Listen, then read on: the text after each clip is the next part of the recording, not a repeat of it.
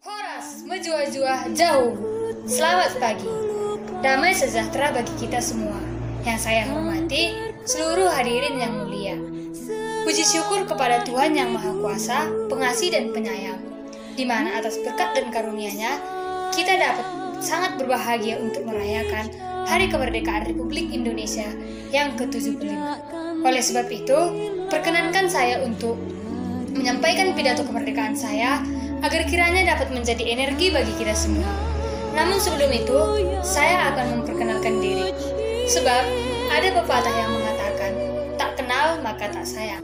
Baiklah, nama saya Jeli Ulita Tangsar, kelas 11 IPA 2, berasal dari SMA Swasta Cinta Rakyat, Van Dienhoven Silimapura.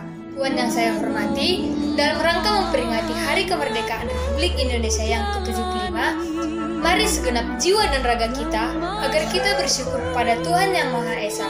Sebab, panjangnya perjalanan bangsa Indonesia untuk merdeka, untuk menjadi bangsa yang adil, untuk menjadi bangsa yang besar, untuk menjadi bangsa yang berkedaulatan, bukanlah hal yang gampang.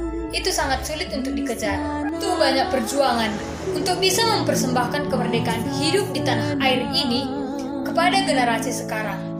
Maka dari itu, mari bersama-sama menggalang persatuan dan kesatuan dalam berkebangsaan dan menjaga bangsa Indonesia dari benturan ideologis yang dapat memecah belah Indonesia dari kedaulatan dan persatuan. Hanya dengan nilai ini, kita bisa menjadi bangsa yang besar, bangsa yang berkedaulatan, dan bangsa yang berkeadilan. Hanya dengan persatuan kita bisa bersatu untuk menjaga keutuhan bangsa Indonesia. Wahai generasi muda sekarang, tunggu apa lagi? Mari kita bersama-sama dalam memajukan bangsa Indonesia, tanah air kita, untuk menjadi bangsa yang teguh, untuk menjadi bangsa yang berkeadilan, untuk menjadi bangsa yang berkedaulatan. Mari bersama-sama untuk junjung tinggi nilai dan kesatuan bangsa Indonesia kita.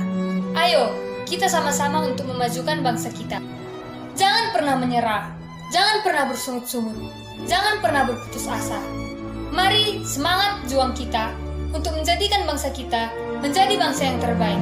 Lakukan semampumu, karena para pahlawan kita juga tidak pernah bersungut-sungut untuk memajukan kita, tidak pernah berputus asa untuk mendirikan bangsa yang maju dalam tanah air kita. Pada itu, jangan lupa untuk berdoa kepada Tuhan Yang Maha Esa, karena setiap aktivitas yang diiringi akan doa pasti menghasilkan hasil yang baik. Sekian pidato yang dapat saya paparkan pada hari ini. Semoga pidato saya dapat membuat kita untuk semangat dalam mendirikan bangsa kita dan tetap menjunjung tinggi nilai kesatuan dan persatuan. Terima kasih. Indonesia, merdeka, merdeka,